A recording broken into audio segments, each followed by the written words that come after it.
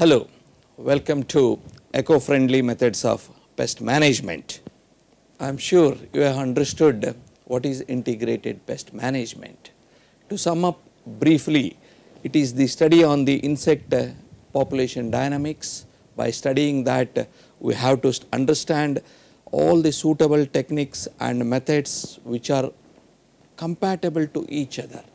By doing this, our ultimate aim is to maintain the insect population at levels below causing economic damage. This is more important. So, that is the meaning of integrated pest management. You know in brief we can say the integrated pest management includes many technologies and methods which are the components of IPM. So, this is where uh, we have to study further. I will be discussing henceforth the various components of pest management. First and the foremost is legal methods or which are also referred as legislative measures. If you trace the history of the legal methods, the first act in the country was passed in 1906 under the Sea Customs Act of 1878 to stop the entry of Mexican cotton boll weevil which is an important pest in USA. Then we see the second uh, act of Cotton Pest Act of 1911 particularly in Madras state the cotton uh, stalks has to be removed by 1st of August mainly to eliminate the incidence of pink bollworm because the carryover of the larvae used to be there in the cotton stalks.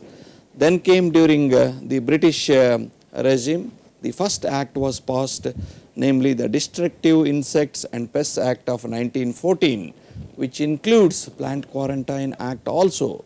This prevents the movement of uh, the plant products or the plant byproducts containing the insects from one foreign country to another foreign country, from one state to another state and also from one territory to another territory. So, this is one of the major act which was passed. Then government of India during 1968 passed an important act called as Insecticide Act of 1968 which mainly regulates the import, the manufacture, sales, transport, distribution and use of insecticides. This was enforced from 1st April 1971. Later on many amendments were made to this particular act of insecticide act of 1968. Later on in between this there was one more act the prevention of food adulteration act of 1954 which also includes the information on pesticide residues and uh, the tolerance limits for various food commodities. Then moving on to the most important methodology that is the cultural practices or the agronomic practices. These are the practices which are mainly followed by the farmers for improving the crop productivity. They are simply the alterations or changes in the cultivation practices which have an impact on the insect population. Some of the cultural practices to list down, I have a series here. We will uh, go one by one, try to understand how exactly they influence the population. Host habitat management. Host in the sense it is the crop, a particular crop of the location. So, here the manipulation of uh, the crop production and management tactics are included. Say to quote some of the examples, the planting time or the sowing time. You know in some insects have high incidence in the early stage of the crop, some insects have high incidence in the late stage of the crop. Time of sowing or sowing time particularly in case of sorghum. Shoot fly is one of the economically important insect in uh, during rabi areas in dryland situations. It causes uh, economic damage in the form of dead heart, the whole plant will be killed. A simple early sowing that is uh, up to the end of June, you find a very negligible incidence or low incidence of uh, the shoot fly. Whereas normally we see the normal sowing in between uh, July 1st to July 15th that is the first fortnight of July, we record a medium incidence of around 10 to 20 percent dead heart incidence. If it is delayed, that is after July, we find the same insect causing maximum damage more than 30 percent incidence. Then we will move on to other aspects like high seed rate. You know some crops like sorghum, maize, we know normally we get around 15 to 20 percent incidence. For example, the one that I quoted sorghum shoot fly, we get around 10 to 15 percent incidence. Mere increasing the seed rate, say in crops which are uh, where the seed is not the uh, costly affair, by increasing 10 to 15 percent, we can uh, maintain the same yield level. The uh, plant population will compensate for the yield losses due to the dead heart in case of sorghum. And some of the other things like crop spacing or plant spacing or um, crop location, crop rotation or disrupting um, the crop and uh, insect uh, synchrony, they all divert or they all concerned to disrupting the continuity of uh, the food sources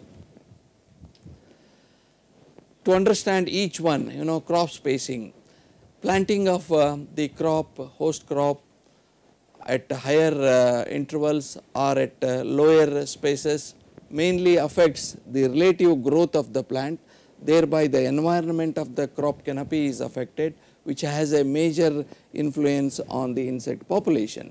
To quote an example, you know, aphids were found to be less whenever the planting is done I mean less than the space of 0.8 meters. Similarly, the flower thrips and the pod borer in case of cowpea, the increased spacing of 1 to 1.5 percent reduces the incidence. I mean one thing is very clear, it is not a thumb rule that always reduced planting increases the incidence or increased population reduces the population. It varies from species to species. Then crop location, another important uh, eco-friendly method in which if the crop is sown near the unmanaged habitats, lot of population migrate from the unmanaged habitats to the main crop. Thereby there will be increase in the incidence. The next eco-friendly method or the good old method is crop rotation. Crop rotation not only uh, creates a discontinuity in the life cycle, it also improves the soil structure and fertility. Particularly this technique works most effective when the pest population has got a narrow host range and when the eggs are laid before the new crop is planted and most importantly the feeding stage of the insect is not very mobile. Rotations normally do well for insects like white grubs and for uh, red-head hairy caterpillar.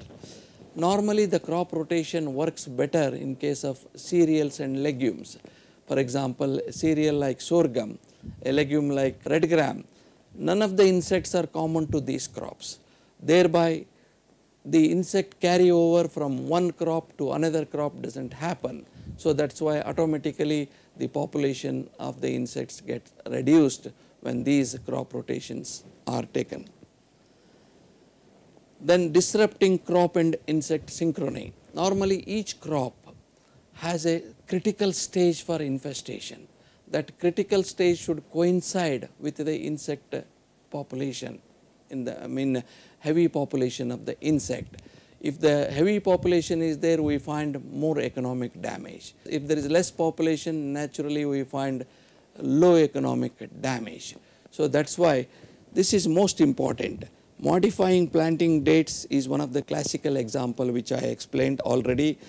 Again in sorghum we find the sorghum midge incidence can be reduced drastically if uh, the crop is sown early. Whereas in case of paddy you know transplanted rice crop the gall is one of the important uh, problem. The incidence can be escaped if it is sown early. Then going back to the other methods you know alley cropping. Alley cropping in the sense uh, leaving one row empty that helps particularly in case of paddy to reduce the brown plant hopper population considerably. By leaving one row empty it reduces the microclimate uh, to a considerable extent. Particularly the relative humidity is uh, reduced, thereby the BPH population reduces uh, its egg laying, its egg hatching, automatically those two are related to the incidence reduction. We will take other eco-friendly methods in the next class.